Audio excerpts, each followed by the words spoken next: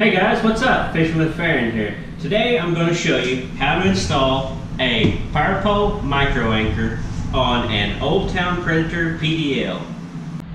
Okay, before we get started, there's a few issues that my kayak has that we'll have to address before we can install the power pole.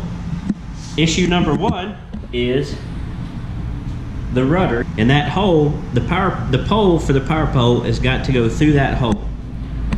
Which brings us to the next issue. I have my transducer transom mounted. And I don't want a transducer arm hanging off the side. And the transducer uh, on this kayak is too small for my transducer, but leave it hanging down below the kayak, and I don't want that. So I've got an idea. Um, we'll go over it in the video and see if it works. The next issue is there is no rear access. So we're gonna have to take this hatch and cut out an eight, uh, take the kayak, cut an eight inch hole and install a hatch to give us rear access to add the bolts in for the power pole uh, mount. Okay, as I mentioned, one of the issues was the transducer I had transom mounted back here uh, is right under the, the hole in the back where the pole is going to go through. So what I've come up with is I'm going to offset the transducer to the side of the mount and so what that's going to do is, going to move it over enough where my pole will clear and I can still run my transducer on the transom and not have an arm hanging down or have the transducer hanging down uh, below the bottom of my boat. Okay, so I got the transducer moved over, and what I've done is uh, I removed it from the mount here, moved it out to the side, uh, got a longer bolt. Uh, I added a nylon spacer in between the transducer because that's plastic and uh, you don't want to break those ears off. So just uh, I put a spacer in there so it only tightened down so far. And as you can see down the hole, uh, the pole will just clear now. So on to the next step. Okay, so I've got the transducer mount moved over to the pole clear.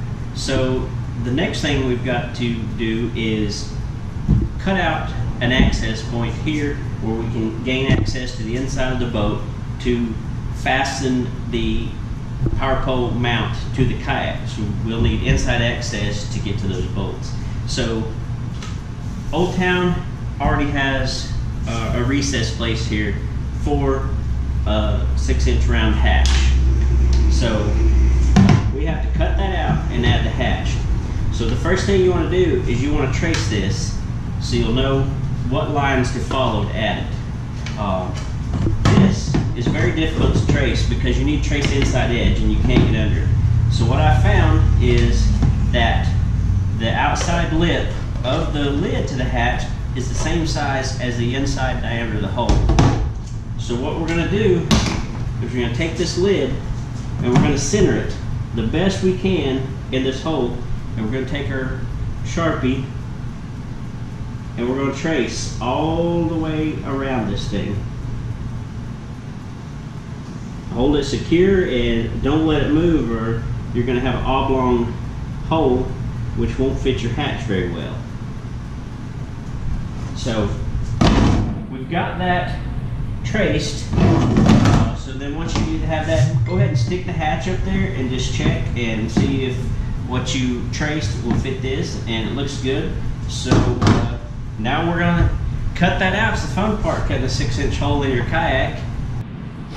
So what I did is I took my uni bit and I drilled a couple of holes enough to get the saw blade started in. So now what I'm gonna do is just start cutting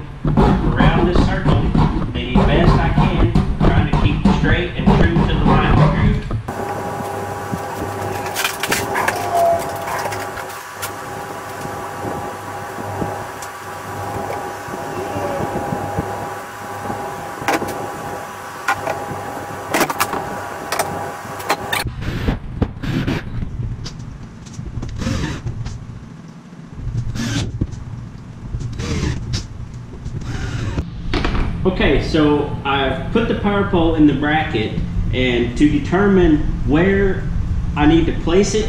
I'm going to eyeball the hole where the stake goes through into the hole in the back of the kayak, and I want to center that the best I can. So I want to. That's how I'm going to know where to put this bracket, front to rear, side to side. So once I've got it eyeballed in place where I want to put it, I'm going to take a Sharpie and I'm going to mark it there on the kayak so I'll know where the bracket goes and I can go ahead and take the power pole off the bracket and mount the bracket and get that part done. Okay, so I've got the bracket uh, in place where I want to put it. I've removed the power pole. Uh, I found the appropriate size drill bit for the supplied hardware that comes with it. Uh, I believe this is a 5 16 bit. So I'm going to hold the mount in place. I'm going to drill this first hole. You got that first hole drilled? What I like to do is go ahead and take the bolt, put it through the mount, and through the hole, and what that's going to do is hold it in place so you can get the other holes square. Okay, so I got my holes drilled, uh, got all the bolts in place. Um, with the inside access we do, we're going to take these big uh, flat washers and you're going to put one of those on each bolt and the supplied uh, lock nut. And to just snug those down. Okay, so we've got the mount bolted down. Uh, I wanted to bring you around here and show you something. So there's this raised portion back here where the rudder sits and the back of the mount had to hang off the back of there. So what I've done is I picked up some nylon washers, uh, just got them out of the uh, the bolt bin at, at Lowe's, and uh, just spaced that up to where it sets even. Uh, it's a good solid mount now, shouldn't have any issues.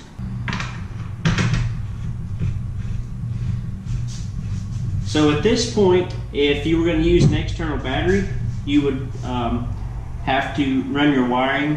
Uh, it comes with a supplied wiring harness, and you would decide if you wanted to uh, run it to your normal battery that you have on your fish finder, your lights, whatever, or you run a separate battery.